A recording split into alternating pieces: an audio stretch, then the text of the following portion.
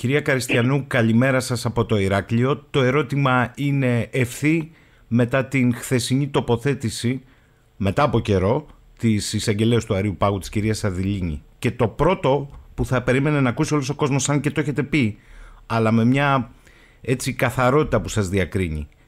Τελικώς είναι ψέματα ο παρηγορητικός λόγος πηγαίνετε και σε καμιά εκκλησία να ανάψετε κανένα κεράκι που το είπατε πάνω στο θυμικό σας όλοι εσείς και την οργή σας. Καλημέρα κύριε Φασίνη. Ε, θα μου επιτρέψετε να ξεκινήσω λίγο διαφορετικά ε, από την ουσία του πράγματος. Θα πω λοιπόν ότι εδώ και 15 μήνες περίπου ζούμε το αδιανόητο. Και δεν αναφέρομαι μόνο στην τραγική μας απώλεια, αναφέρομαι και σε μια άνευ προηγουμένου ξεδιάντροπη παρουσία πολιτικών που είτε μας δηλώνουν ανεδέστατα ότι είναι ανεπαρκείς και ότι ατυχήματα γίνονταν και θα γίνονται γιατί στην Ελλάδα οι παθογένειες δεν θεραπεύονται ποτέ και από την άλλη μια γκαγκστερικού τύπου συγκάλυψη ε, που θα ζήλαβε πραγματικά και ο πιο εφάνταστος συγγραφέας ε, για την οποία φαντάζομαι το λιγότερο είναι να πρέπει να ξαναγραφεί ο ποινικός κώδικας από την αρχή. Πλήρης αποδόμηση της δικαιοσύνης και της εκτελεστικής εξουσίας ως θεσμή. Θα μας ενδιαφέρει λοιπόν από την κυρία Δηλίνη, ε, αντί να ακούσουμε τα σχόλια για αυτά που υπόθηκαν και είναι πάρα πολύ εύκολο να αποδειχτούν, γιατί δεν ήμασταν μόνοι μας βέβαια, υπήρχαν μάρτυρες και το έχει πει και πολλές φορές και ακόμη και όταν εγώ ήμουν απούσα και στους άλλους ε, συγγενείς. Θα μας ενδιαφέρει λοιπόν να ακούσουμε την άποψη, ε, την άποψή της για την ε, κίνηση της κυρίας Κεχαγιά, που είναι εισαγγελέας της Λάρισας, η οποία αρχιοθέτησε τη μήνυσή μας για τον κύριο Τριαντόπουλο. Και εκεί είναι για μένα η ουσία όλου του θέματος. Δεν σκόνταψαν στο όνομα Τριαντόπουλο. Δεν σκόνταψαν, δεν έχουν δει το δημόσιο βίντεο που έχουμε δει όλοι μας, όπου ο κύριος Τριαντόπουλος ομολογεί ότι με εντολή του Πρωθυπουργού ε, έκανε όλες τις παρεμβάσεις στο χώρο. Δεν υπάρχει το κατηγορητήριο στον αγοραστό για αλλίωση του χώρου.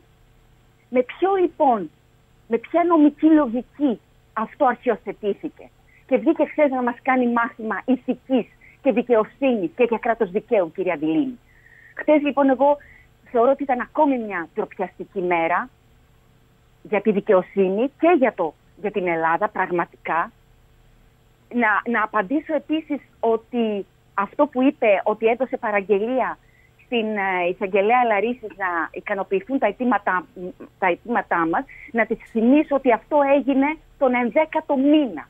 Και μέχρι τον 11ο μήνα και μέχρι δηλαδή να ακουστεί η άποψη της Ευρωπαίας εισαγγελέως, τα δικά μας τα αιτήματα ε, παρέμεναν στην τύχη τους. Τίποτα δεν γινότανε. Και ξαφνικά, 11 μήνες μετά, δόθηκε η εντολή από την κυρία Δηλίνη να ικανοποιηθούν τα αιτήματά μας και να τα δούμε με σεβασμό. Λίγο αργά δεν ήταν. Άρα, Λίγο αργά. Άρα, κυρία Καριστιανού, αντιλαμβάνομαι ότι εδώ απαντάτε στο γνωστό από χθες της κυρίας Αδηλίνη ότι αν σκοντάψουμε σε όνομα πολιτικό, αμελητή πάει στη Βουλή. Λέτε ότι ούτε αυτό δεν συνέβη με την εισαγγελέα της Λαρίσης. Ακριβώς. Το ακούσαμε να το επαναλαμβάνει η ίδια. Άρα, νομικά γνωρίζει.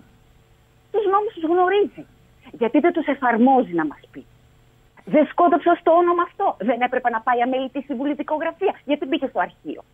Μήπως γιατί έτσι μπαίνουν όλα στο αρχείο. Και μήπως γι' αυτό τελικά η κυρία Δηλίνη από τη 17η θέση ιεραρχία βρέθηκε πρώτη. Πληρούσε τα κριτήρια. Ποια είναι τα κριτήρια ακριβώς, Να μην εφαρμόζεις τους νόμους όταν πρόκειται για πολιτικά πρόσωπα. Αυτό λοιπόν δεν θα γίνει στην περίπτωση των Ντεμπόν. Στην περίπτωση των Ντεμπόν, όλοι οι υπεύθυνοι θα τιμωρηθούν. Και να πω και κάτι, ένα τελευταίο σχόλιο. Mm-hmm. Χθες, ακούγοντας, γιατί σήμερα το πρωί ε, ουσιαστικά ε, άκουσα όλη την ομιλία με τη δημοσιογράφο, εάν έλειπε η εικόνα και έλειπαν και οι ονομασίες, εγώ θα, και άκουγα εγώ μόνο τη, τη συζήτηση, θα έλεγα ότι είχα δύο κυβερνητικούς εκπροσώπους. Η μία που προέρχονταν τύπης από μια ανεξάρτητη δικαιοσύνη και η άλλη η κυρία τύπης από μια ανεξάρτητη ε, ενημέρωση. Ήταν όμως δύο κυβερνητικοί εκπρόσωποι που μας έλεγαν το ίδιο αφήγημα. Του ανθρωπίνου λάθους και ότι δεν υπάρχει συγκάλυψη και μπάζωμα. Αυτά πλέον δεν γίνονται πιστευτά και νομίζω ότι κάθε φορά που ανοίγουν το στόμα τους ουσιαστικά μας επιβεβαιώνουν αυτό. Κυρία Καριστιανού, αφού σας ευχαριστήσω, θέλω και μία, αν είναι εφικτό, τελευταία δική σας παρατήρηση, διότι με την ιστορία του μοντάζ έχουν συμβεί πράγματα και θάματα τις τελευταίες μέρες, τις οποίες φαντάζομαι παρακολουθείτε και εσείς αυτές τις εξελίξεις.